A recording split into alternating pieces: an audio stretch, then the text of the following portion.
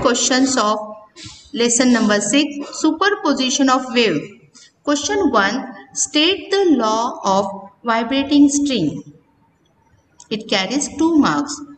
Question 2 state any two applications of beats 2 marks.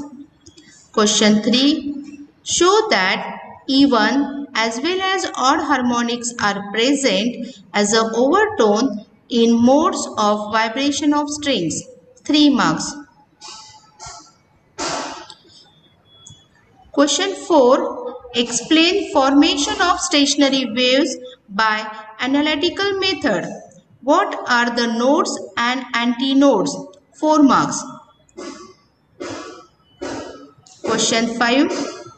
Explain the production of beats and deduct analytically the expression for beats frequency 4 marks. Next lesson lesson number 7 wave optics.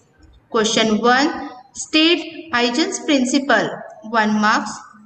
Question 2 state any four conditions for obtaining well defined and steady interference pattern 2 marks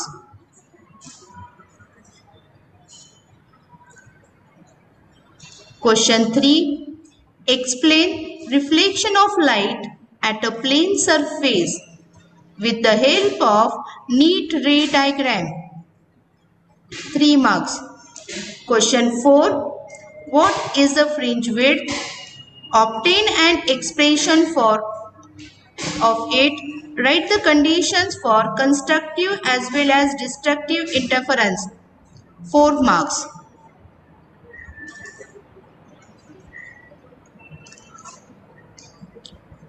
Question 5. Explain Fraunhofer diffraction at a single slit with neat ray diagram. Obtain an expression for width of central bright fringe. 4 marks. Next lesson, lesson number 8, electrostatics. In that important questions, question 1, what are polar and non-polar dielectrics? 2 marks. Question 2. Obtain an expression for the energy stored in a charge condenser. Express it in different form. 3 marks. Question 3. Obtain an expression for the capacitance of a parallel plate capacitor without a dielectric 2 marks. Question 4. Derive an expression for the dielectric potential due to an electric dipole 3 marks. Next lesson number 9 current electricity. In that important question is question 1 state Kirchhoff's law of electricity. Here you write the two laws current law, voltage law or first law and second law. It carries the two marks. Question 2. Explain potential gradient. In that case write the definition, unit, dimensions of it. It carries the two marks.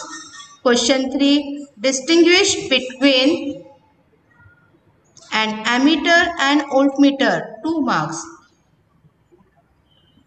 Question 4. What are the disadvantages of a potentiometer over a voltmeter? 2 marks. Question 5. Explain with a neat circuit diagram how you will determine the unknown resistance using a meter bridge. 3 marks. Question 6. Describe how a potentiometer is used to compare the EMF of two cells by connecting the cell individually. Individual method is applied for it 3 marks.